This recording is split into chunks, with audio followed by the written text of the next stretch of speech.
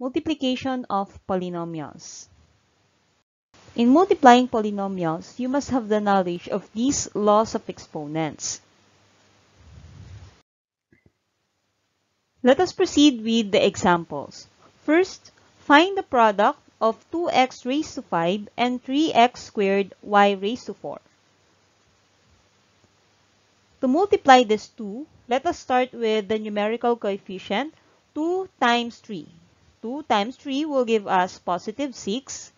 Then proceed with the variable. So multiplying x raised to 5 and x squared, since they have the same base, which is x, then we just have to add their exponent. So it will be 5 plus 2, and it will give us 7. So we have x raised to 7. Then our final answer is 6x raised to 7.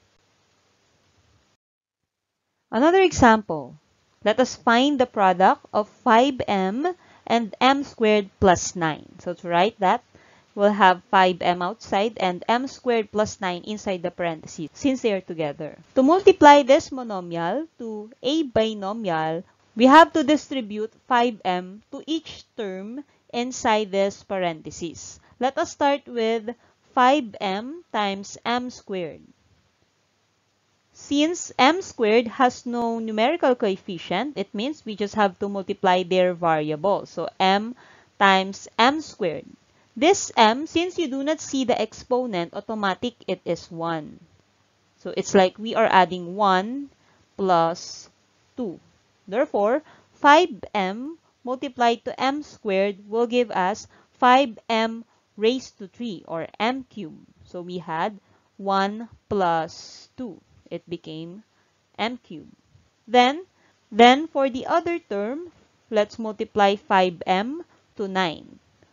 Since 9 has no variable, it means we just have to multiply 5 and 9. Then copy the variable m. So 5 times 9 will give us positive 45. Then just copy the variable m.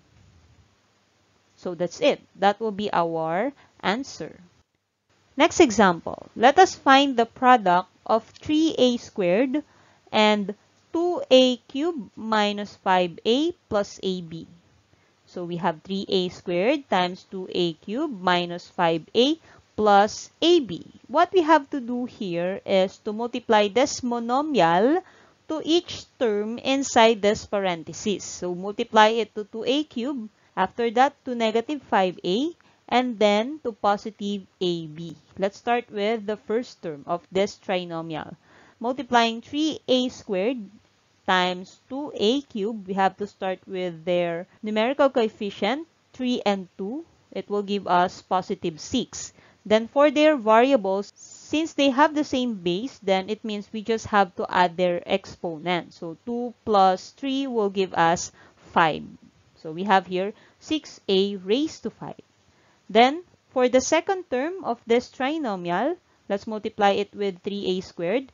3a squared times negative 5a. So, multiply first their numerical coefficient. 3 times negative 5. That will give us negative 15.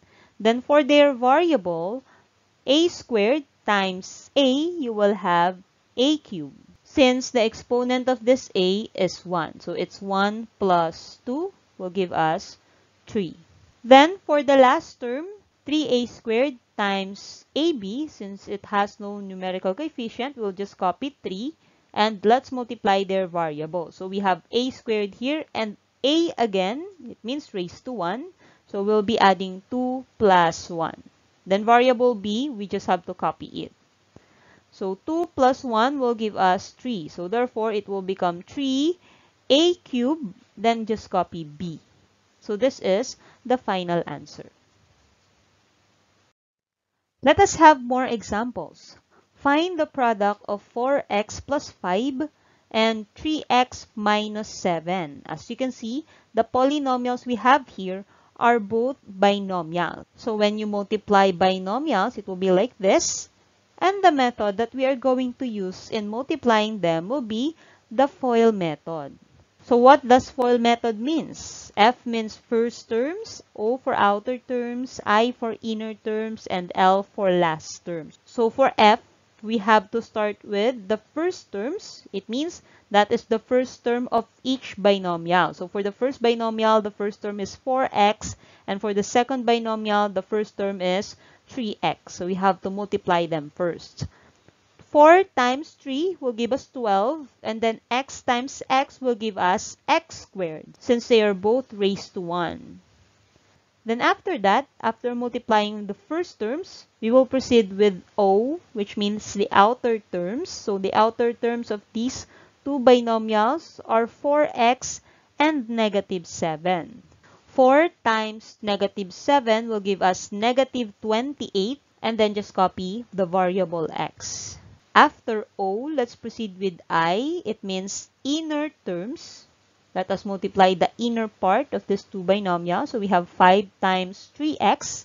5 times 3 will give us 15 and just copy the variable x.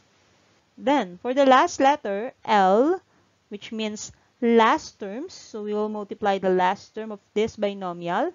5 times negative 7. 5 times negative 7 will give us negative 35. But we are not yet done. Observe this polynomial. We can still combine some of these terms, which we call the like terms. So as you can see, negative 28x and positive 15x, they have the same variables. Then therefore, we may combine them. 12x squared and negative 35, since they do not have like terms, we may just bring down these two terms and combine these two. Negative 28x plus 15x, they have different signs, so you have to subtract and copy the sign from the larger number. The answer will be negative 13. Then, bring down x. So, the final answer is 12x squared minus 13x minus 35. But what if we have to find the product of 2x plus 5, that is a binomial, and x cubed plus 6x squared minus 3x plus 8, that is a multinomial. So how are we going to multiply them? To do that, we will start with the first term and multiply this to each term of this multinomial. Then after that, we will proceed to the second term, which is the positive 5, and multiply this again to each term of this multinomial. So let's start with the first term, 2x. Multiply 2x and x cubed. So to multiply them, you just have to bring down or copy the, the numerical coefficient then multiply their variable. So we have x times x cubed. It will give us 2x raised to 4 since the exponent of this x is positive 1. So we just added 1 and 3. We got 4. Then next, 2x times 6x squared. Just multiply first their numerical coefficient. 2 times 6 will give us 12. Then after that, multiply their variable x and x squared will give us x cubed since we will add 1 and 2. The next, 2x times negative 3x. We have to multiply 2 and negative 3. It will give us negative 6. And x times x will give us x squared. Then, next is 2x times positive 8. So 2 times 8 will give us 16. Just copy the variable x. So positive 16x. Since we're done with 2x, let's proceed with the second term, 5, and multiply this to each term of this multinomial. Let's start with 5 times x cubed. 5 times x cubed will have positive 5x cubed. Then, 5 times 6x squared, multiply 5 and 6, will have positive 30 and just copy the variable x squared. And then 5 times negative 3x, 5 times negative 3 will give us negative 15. Then just copy the variable x. So negative 15x. And for their last terms, 5 times positive 8, both are positive, so your answer will just be positive. 5 times 8 will give us positive 40. But we are not yet done. Observe, we can actually simplify this polynomial by combining their like terms. So let's start with the first term, 2x raised to 4. Does it have like term? None. So therefore, we may just bring down 2x raised to 4. Then proceed with the next term, 12x cubed. We can actually combine it with positive 5x cubed since both of them have the variable x cubed. 12 plus 5 will give us 17. Copy the variable x cubed. And then, negative 6x squared, combine it with positive 30x squared, negative 6 plus 30, they have different signs, so you have to subtract. You will have positive 24. Then copy the variable x squared. Then after that, positive 16x, combine it with negative 15x, since both have the variable x. 16 plus negative 15, you will actually get positive 1. Then just copy the variable x. But we will only write positive x since if the numerical coefficient of a variable is 1, we do not have to write that. So we'll have here positive x. And for the last term, positive 40, it doesn't have like term, therefore we will just bring down positive 40. So the answer is 2x raised to 4 plus 17x cubed plus 24x squared plus x plus 40.